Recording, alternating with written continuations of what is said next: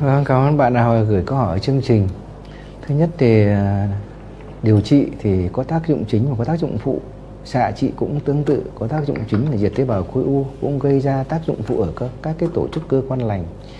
Thì à, đối với ung thư tuyến ức thì nó, nó nằm ở trong trước trong lồng ngực và à, sau phẫu thuật thì nó và bố của bạn đã phẫu thuật cắt bỏ tuyến u khối u và cắt bỏ phần phổi. Có nghĩa rằng là trong quá trình điều trị u đã xâm lấn ra phổi. Thế vấn đề xạ à, để, để chống tái phát tại chỗ. Thế thì vấn đề à, xạ trong quá trình xạ thì nó gây nên một số tác dụng phụ. Tác dụng phụ của xạ thì nó kéo dài bao gồm như là sơ hóa phổi viêm phổi sơ hóa phổi là cái kéo dài.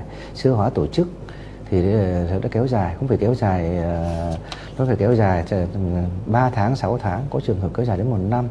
Và khi mà điều trị ờ, như thế thì ờ, các cái thuốc mà chúng ta không không không, không có thể điều trị chúng ta không tập luyện thì cái khả năng sơ hóa nó tăng lên rất là nhiều.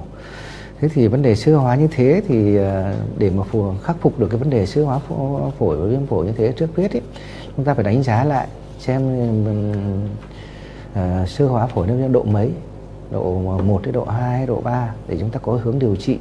Mỗi các cái độ độ chúng ta có cái hướng điều hướng điều trị khác nhau. Cái ờ, nữa là vấn đề ờ, về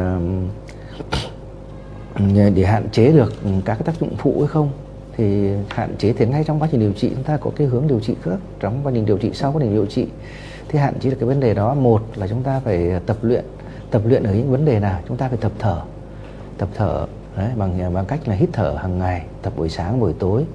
Thế là bệnh nhân mà hạn, à, à, hạn chế nhất thì bằng thổi vào cái lấy ống thổi vào cái chai nước ấy, cắm sâu vào để thổi vào cái chai nước độ chai một lít lít rưỡi và có cái ống thổi chúng ta thổi dần dần và thổi để số lượng tăng lên tăng lên để nó, nó, nó nở phổi ra thì cũng hạn chế vấn đề đó. Và các cái tác dụng phụ của, của, của xạ trị nó gây nên trong vấn đề đó thì ngoài cái viêm phổi thì đối siêu hóa tổ chức cũng rất là thường gặp cái vấn đề nữa nếu mà xạ trị thì có thể ờ, một số trường hợp thì có thể gây ra các cái, cái um, uh, sơ hóa tổ chức gây nên các cái bệnh nhân sẽ càng ngày càng ờ, khó thở nhiều. Để chúng ta tập luyện thế thì ngoài ra để mà hạn chế cái vấn đề đó thì hiện nay bố bạn điều trị cũng lâu rồi bây giờ tôi cũng vẫn quay lại vấn đề là tập thở. Tập thở là cái quan trọng nhất. Cái thứ hai tôi sẽ dùng thêm một số thuốc ví dụ như omega 369 để làm tăng cường cái cái, cái, cái hoạt động của phổi lên. Đấy là một cái chúng ta nên dùng. Hoặc là trong trường hợp cá để hạn chế được các cái tác dụng phụ đó. Những trường hợp mà nặng có viêm nhiễm chúng ta phải dùng ờ, các cái thuốc phối hợp. Ví dụ như các thuốc nông ờ, steroid.